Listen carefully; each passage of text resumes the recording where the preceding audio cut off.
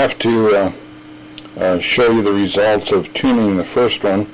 I changed the uh, capacitor that I have in there for tuning it and I removed my little uh, copper double-sided foil that I was using for for tuning it and went ahead and put the load back on it so I have 12 leads on unit 1 and the two units are tied together and I have 12 leads on unit 2 and then as I changed this tuning I found that I was getting some too much coupling back so I took my mass off of there and I just have a small lead on there. One thing that's important here that I want to show you so, so that you understand how they're feeding back and how they're all working together. If I take at this point and touch this lead, let me back up so you can see, maybe if I get it in here, there. Now watch this lead panel over here, kind of hard because I don't want to get them too close or they'll feed back again.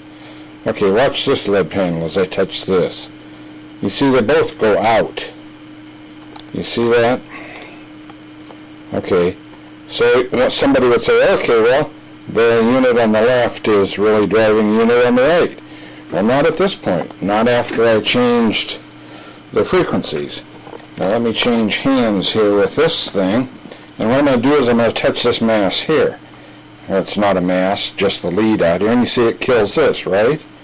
Okay, watch this one.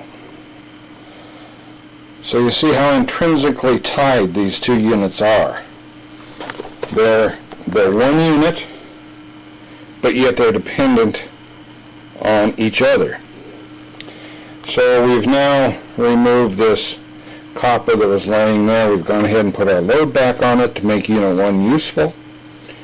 We've taken and not only is unit 1 driving unit 2, but unit 2 is driving unit 1. Isn't that an oxymoron? And we have our 12 leads off of unit 2. So we have 24 leads right now running. Uh, will it do 50? Will it do 48? What do you think? Anyway, what I wanted to say also is for folks out here on YouTube uh, watching these videos, folks, don't waste your time sending me comments or emails or anything else if you're going to mention Tesla. Uh, Tesla didn't invent everything in the world.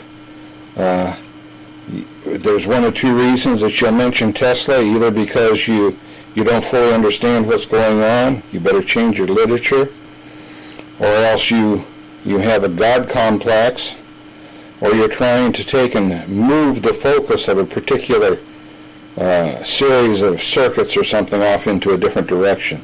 So don't ever send me anything with Tesla. It goes in file 13 immediately. And for those, all of you folks out there just waiting, waiting for me to hand this to you, keep waiting, folks.